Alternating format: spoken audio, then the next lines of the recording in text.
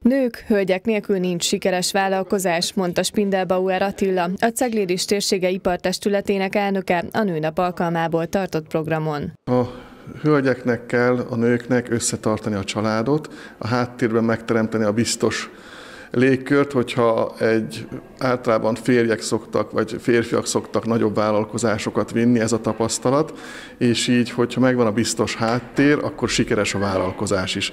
Úgyhogy a nőknek nagyon nagy szerepe van a vállalkozásokban is, és a családteremtésben is.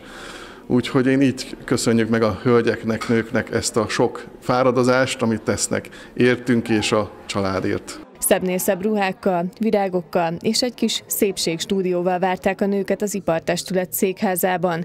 Sokan részt vettek a programon.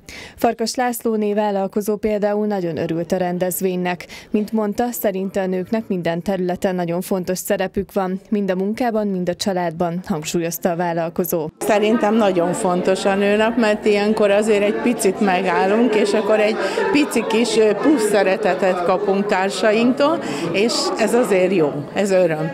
A mai nap az nagyon szép, tehát nagyon szeretek ide járni az Iparosok Egyesületébe.